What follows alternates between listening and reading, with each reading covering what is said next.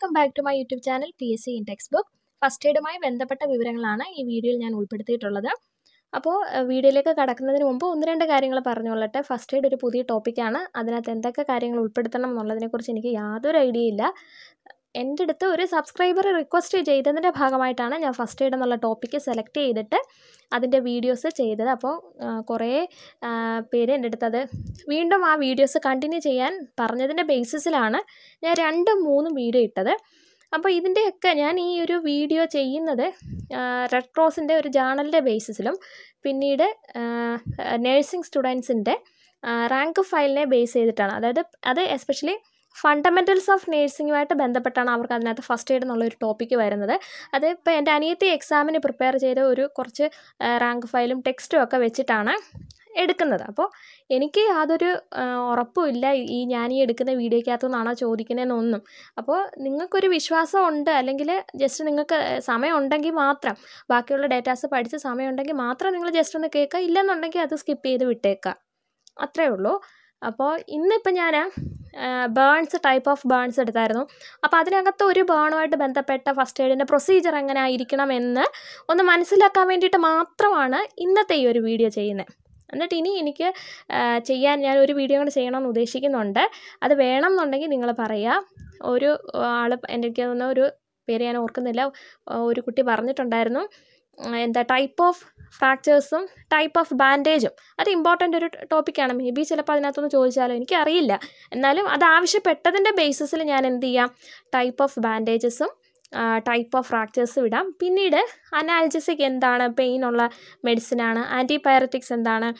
ടെമ്പറേച്ചറിന് വേണ്ടിയിട്ട് body temperature കുറയ്ക്കാൻ വേണ്ടിയിട്ടാണ്. അങ്ങനെയുള്ള ഒന്ന് രണ്ട് ഒരു ചെറിയ കാര്യങ്ങളും കൂടി ഒരു വീഡിയോയ്ക്കകത്ത് ഉൾപ്പെടുത്താം. അതൊരു പക്ഷേ രണ്ട് വീഡിയോ ഇനി ഒരു പക്ഷേ ചെയ്യേണ്ടി വന്നേക്കാം. അതായത് ടൈപ്പ് ഓഫ് ബാൻഡേജസും ടൈപ്പ് ഓഫ് ഫ്രാക്ചേഴ്സും പിന്നെ ഈ പറഞ്ഞ അനാൽജസിക് ആന്റിബയോട്ടിക്സ് ആന്റിസെപ്റ്റിക് ഒക്കെ അങ്ങനെയുള്ള ഒന്ന് രണ്ട് കാര്യങ്ങൾ. ഒരു പക്ഷേ അതിനകത്തൊന്ന് ചോദിച്ചാലോ? അപ്പോൾ ഇപ്പോൾ ഈ വീഡിയോയിലേക്ക് അപ്പോൾ ഈ ഒരു വീഡിയോ ചെയ്യുന്നതിന് മുമ്പ് ഈ ഒരു കാര്യം എനിക്ക് പറയണമെന്ന് തോന്നി. അപ്പോൾ ഇന്ന എന്തൊക്കെയാണ് ഞാൻ കാരണം കുറേ പേര് ചോദിച്ചിട്ടുണ്ടായിരുന്നു ടെക്സ്റ്റുകൾ റെഫർ ചെയ്യാൻ എനിക്ക് സത്യത്തിൽ അറിയത്തില്ല. ഞാനിപ്പോൾ ഇതൊക്കെ വെച്ചിട്ടാണ് എടുക്കണമെന്ന് ആവശ്യപ്പെട്ടതിന്റെ പേര് മാത്രമാണ് ഞാൻ ഇതെടുത്തത്. അല്ലെങ്കിൽ ഒരു കാരണവശാലും ഞാൻ ഫസ്റ്റ് എയ്ഡ് എടുക്കത്തില്ലായിരുന്നു. കാരണം സ്കൂൾ ടെക്സ്റ്റ് തന്നെ കംപ്ലീറ്റ് എന്റെ ഒരു ആഗ്രഹത്തിന്റെ പുറത്താണ്. അഞ്ച് മുതൽ പത്ത് വരെയുള്ള സ്കൂൾ ടെക്സ്റ്റ് ചെയ്യണം എന്നുള്ള ആഗ്രഹത്തിന്റെ പുറത്താണ് ഞാൻ അത് തന്നെ എടുത്തത്. അതും നല്ലൊരു അതായത് കണ്ടിന്യൂസ് ആയിട്ട് ചെയ്യേണ്ട കാര്യമാണ്. എല്ലാ സമയം അഡ്ജസ്റ്റ് ചെയ്ത് തന്നെ നമുക്ക് എല്ലാ കാര്യങ്ങളും ചെയ്യണം. അപ്പോൾ കൂട്ടുകാർ അതായത് അനിയനായിക്കോട്ടെ അല്ലെ ചേട്ടന്മാരായിക്കോട്ടെ അങ്ങനെ റിക്വസ്റ്റ് ചെയ്തതിന്റെ ബേസിസിലാണ് ഞാൻ ഫസ്റ്റ് എയ്ഡ് എടുത്തത്. ഒരുപക്ഷെ ഇനി ഇതിനകത്തു നിന്നൊരു ചോദ്യം വന്നില്ല എന്നുണ്ടെങ്കിൽ ഒരു മാസ് അറ്റാക്ക് ഒന്നും ഒരിക്കലും തന്നെ ചെയ്യരുത്. അപ്പോൾ യൂസ്ഫുൾ ആവട്ടെ എന്നുള്ള സിൻസിയർ ആയിട്ട് തന്നെയാണ് ഞാൻ ഇത് ചെയ്യുന്നത്. അറിയത്തില്ല ചോദിക്കുമെന്നുള്ളത്. എന്തായാലും ഞാൻ രണ്ട് വീഡിയോ കൂടെ ചെയ്യാം. അപ്പോൾ ഈ വീഡിയോയിലേക്ക് നമുക്ക് തീർച്ചയായിട്ടും പോകാം. നിങ്ങൾക്ക് യൂസ്ഫുൾ ആണ് അല്ലെങ്കിൽ മനസ്സിലാവുന്ന അങ്ങനെ എന്തെങ്കിലും നിങ്ങൾക്കൊരു എന്തെങ്കിലും ഒരു ഈ ഒരു വീഡിയോ കാണുന്നത് കൊണ്ടോ അല്ലെങ്കിൽ ഈ ഒരു ചാനൽ എന്തെങ്കിലും ഒരു വീഡിയോ നിങ്ങൾക്ക് എന്തെങ്കിലും ഏത് രീതിയിലെങ്കിലും നിങ്ങൾക്കത് ഹെൽപ്ഫുൾ ആണെങ്കിൽ നിങ്ങൾക്കൊരു എക്സാമിന് അത് എഴുതാൻ പറ്റുന്നോ എന്നുണ്ടെങ്കിൽ നിങ്ങൾ തീർച്ചയായിട്ടും ചാനൽ സബ്സ്ക്രൈബ് ചെയ്യുക. ലൈക്ക് ഷെയർ ചെയ്യാൻ നിങ്ങളുടെ സുഹൃത്തുക്കൾ കൂടി പരിചയപ്പെടുത്തുക. കൂടാതെ നിങ്ങളുടെ വിലയേറിയ അഭിപ്രായങ്ങൾ കമന്റ് ചെയ്യാനും മറക്കരുത്. അപ്പോൾ നമുക്ക് വീഡിയോയിലേക്ക് പോകാം. ഒന്ന് രണ്ട് കാര്യങ്ങളാണ് നോട്ട് ഇതിനകത്ത് ഇങ്ങനെ കൊടുത്തിട്ടുണ്ട്. അതൊന്നും കണ്ടൊന്നുമില്ല. നമുക്ക് ജസ്റ്റ് ഒന്ന് പറയുക എന്ന് മാത്രമേ ഉള്ളൂ. അപ്പോൾ നമുക്ക് എന്തായാലും പോവാം സൺബേൺ ഞാൻ കഴിഞ്ഞ വീഡിയോയിലും പറഞ്ഞായിരുന്നു. ടൈപ്സ് ഓഫ് ബേൺസ് ബൈ ഒറിജിനകത്ത് ഞാൻ പറയാത്ത കാര്യമാണ്. Intensive exposure to sunlight and over exposure to ultraviolet from a sun lamp or the sun result in sunburn sunburn സൂര്യാഘാതത്തിനുള്ള കാരണമാണ്. ഇത് ഒരു റാങ്ക് ഫയലിലെ മൾട്ടിപ്പിൾ ചോയ്സ് ക്വസ്റ്റ്യൻ അകത്താണ് ഞാനിത് കണ്ടത്. ഒരാൾ കമന്റ് ചെയ്തിട്ടുണ്ടായിരുന്നു. ഇതുവരെയുള്ള ഒരു ക്വസ്റ്റ്യനിലും ഞാനിതൊന്നും കണ്ടിട്ടില്ല എന്നുള്ളത് ഞാൻ പറഞ്ഞത്. വീണ്ടും ഞാൻ എടുത്ത് പറയുകയാണ്. ഈ പറഞ്ഞ റാങ്ക് ഫയലിന്റെയൊക്കെ പേര് വേണമെങ്കിൽ ഞാൻ മെൻഷൻ ചെയ്യാം. വെറും പത്ത് മാർക്കിന്റെ അല്ല അത്രയും വിലയുള്ള റാങ്ക് ഫയൽ എന്തായാലും നമുക്കളെ കൊണ്ടൊന്നും അത് വാങ്ങിക്കാൻ അത് പ്രയാസമാണ്. പത്ത് മാർക്കിന്റെ അല്ലെങ്കിൽ ഇരുപത് മാർക്കിന് വേണ്ടിയിട്ട് അത്രയും റാങ്ക് ഫയൽ മേടിക്കുക എന്നൊക്കെ പറഞ്ഞാൽ നമ്മളാരും അത് തയ്യാറാവത്തില്ല. അപ്പോൾ അത് വേണമെന്നുണ്ടെങ്കിൽ വേണമെങ്കിൽ ഞാൻ അതും എന്ത് ചെയ്യാം? പറയാം. അതിന്റെ പേരും മെൻഷൻ ചെയ്യാവുന്നതേ ഉള്ളൂ. അപ്പോൾ നമുക്ക് എന്തായാലും പോകാം സൺബേണിന്റെ കാര്യം പറഞ്ഞു. ഇത്രയും ഓർത്താൽ മതി. യു വി റേസ് കാരണം ഉണ്ടാകുന്നതാണ്. അത് ഞാൻ പറയാൻ വിട്ടുപോയതുകൊണ്ട് പറയുകയാണ്. അടുത്തത് ഫേസസ് ഓഫ് ബേൺ ഇഞ്ചറി ആണ്.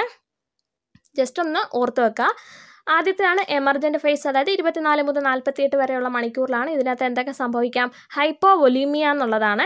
Burn injuries damage skin and the blood vessels causing fluids to S അതായത് നമ്മുടെ ശരീരത്തിൽ നിന്നുള്ള ബോഡി ഫ്ലൂയിഡ്സ് നഷ്ടമാകുക. അതായത് ബ്ലഡിലെ പ്ലാസ്മ കണ്ടന്റ് ലിക്വിഡ് കണ്ടന്റ് കുറയുന്ന അവസ്ഥയാണ് എന്ത്? ഹൈപ്പോ വൊളീമിയ ഹൈപ്പോ എന്ന് വെച്ച് കഴിഞ്ഞാൽ കുറവാണ്. ഹൈപ്പറാണ് കൂടുതൽ. നമ്മൾ പത്താം ക്ലാസ്സിലെ ബയോളജി ടെക്സ്റ്റ് ഒക്കെ വരുമ്പോൾ നമുക്ക് ഒന്നുകൂടെ അത് ഡീറ്റെയിൽ ആയിട്ട് പറയാം.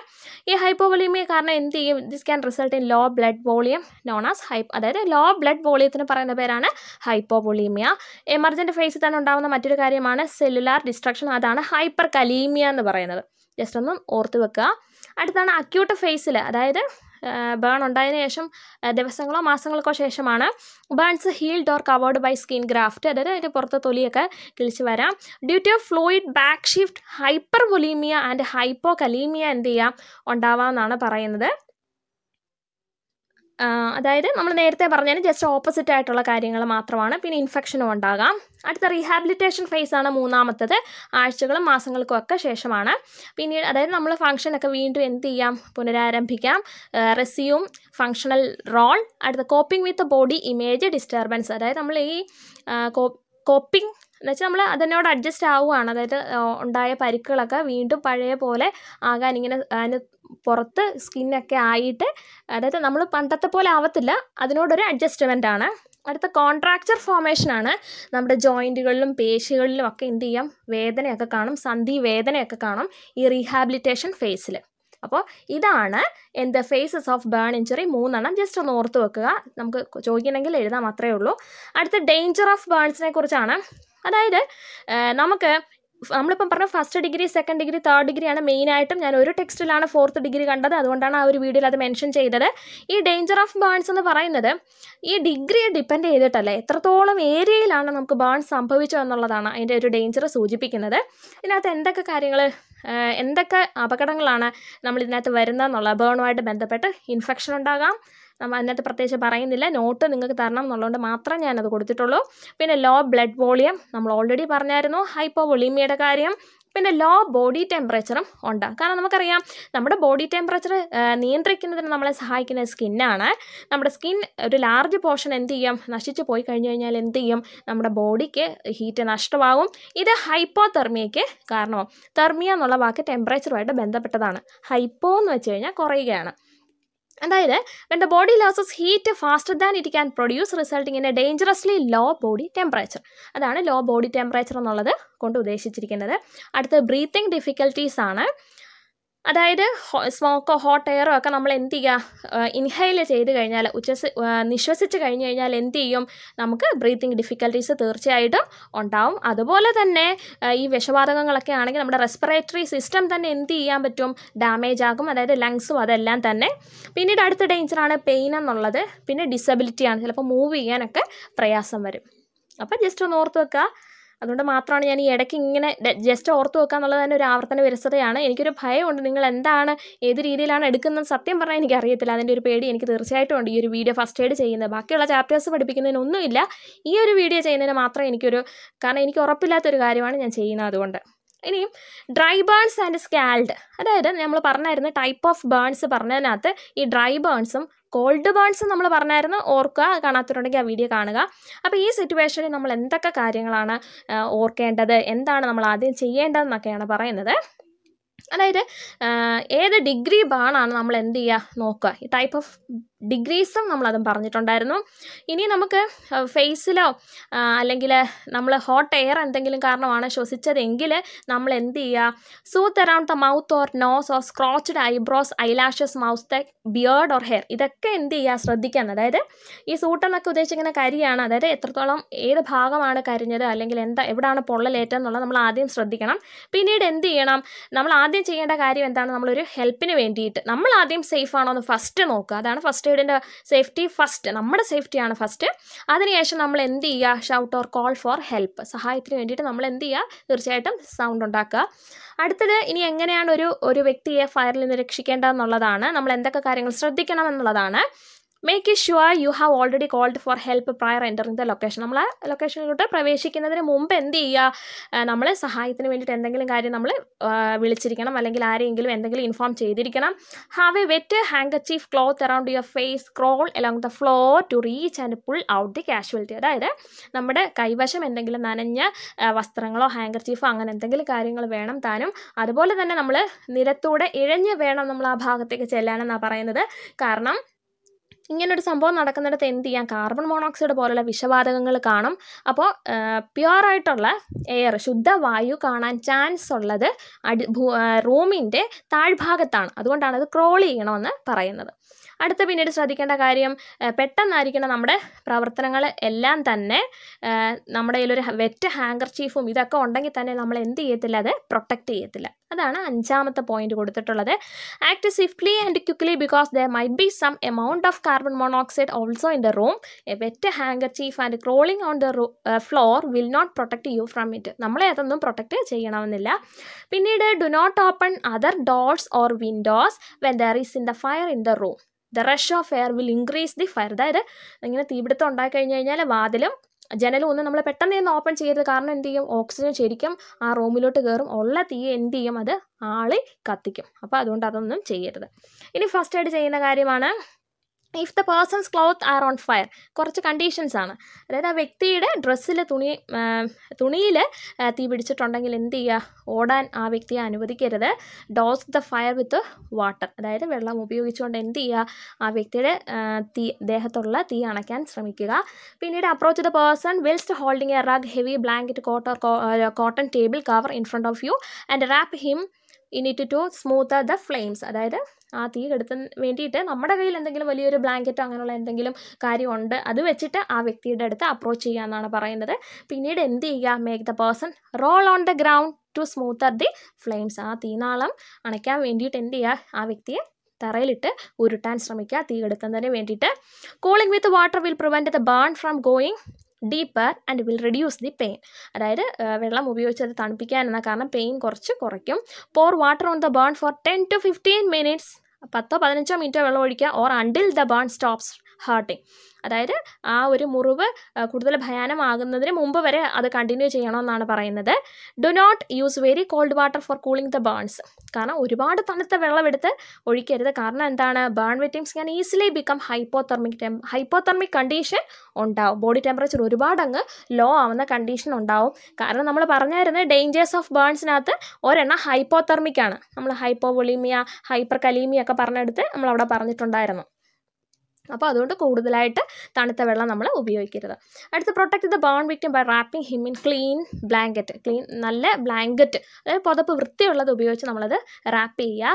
If possible wash your hand before taking care of the patient use soap and water to wash your hand അതായത് നമ്മൾ നമ്മുടെ പേഷ്യന്റിനെ ഇങ്ങനെയുള്ള സന്ദർഭങ്ങളിൽ ഇൻഫെക്ഷൻ ഉണ്ടാകാനുള്ള ചാൻസ് ഉണ്ട്. അതുകൊണ്ട് വൃത്തിയുള്ള കൈ നമ്മൾ തീർച്ചയായിട്ടും അതിനു മുമ്പ് കൈ തീർച്ചയായിട്ടും കഴുകുക.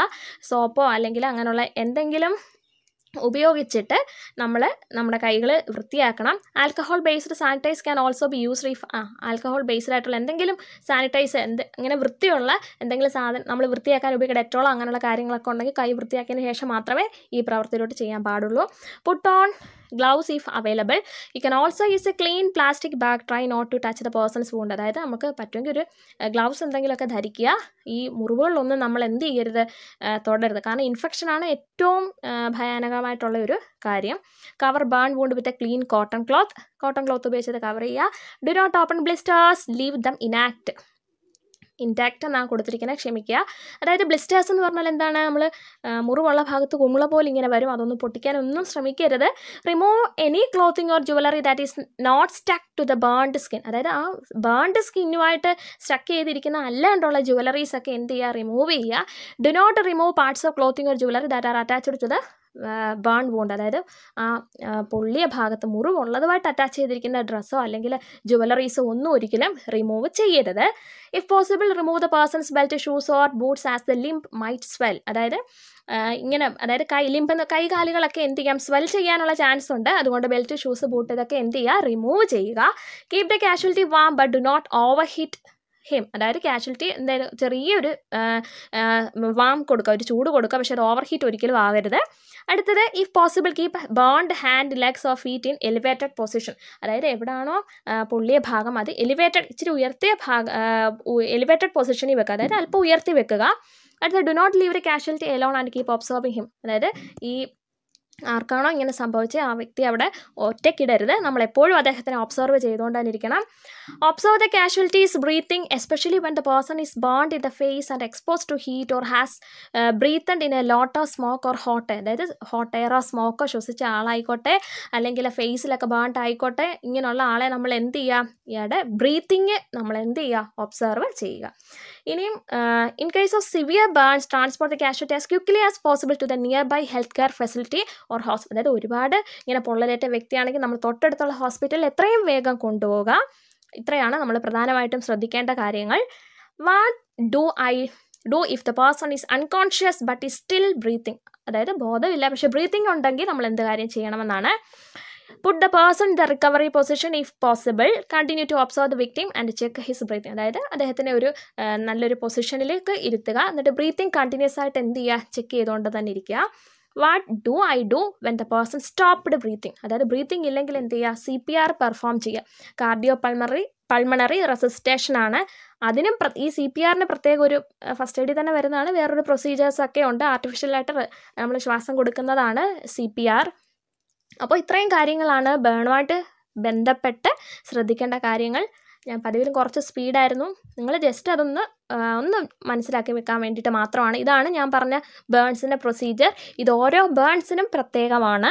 ഇത് ഞാൻ ജസ്റ്റ് പറയാൻ വേണ്ടിയിട്ട് മാത്രമാണ് ഈ വീഡിയോ ചെയ്തത്. അപ്പോൾ നിങ്ങളുടെ വലിയ അഭിപ്രായങ്ങൾ കേൾക്കാതോർത്തുകൊണ്ട് നിർത്തട്ടെ. നന്ദി. നമസ്കാരം.